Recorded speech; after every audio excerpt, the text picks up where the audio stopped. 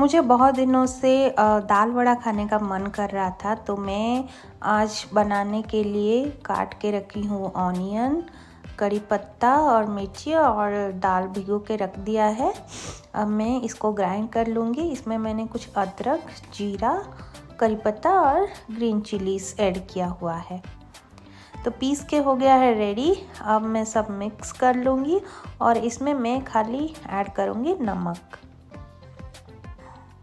तो अभी मैंने नमक भी ऐड कर दिया है। ये सबको मैं मिक्स कर देती हूँ।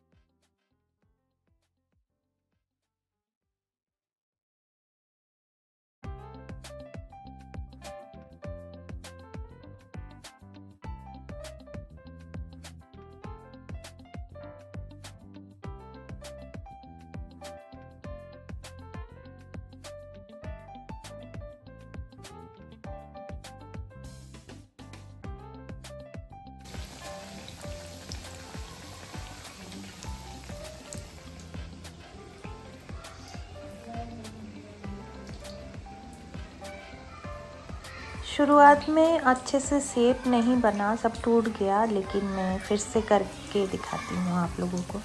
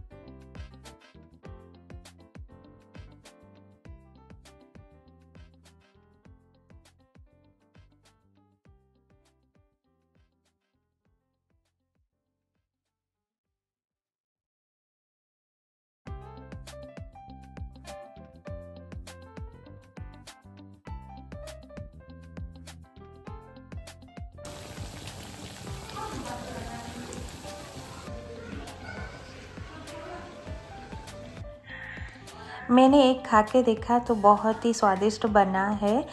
भले ही सेब सही से नहीं बना हो, लेकिन टेस्ट के हिसाब से बहुत अच्छा लग रहा है। तो आप लोग भी बना के खाइए और मुझे बताइए कि कैसा बना है।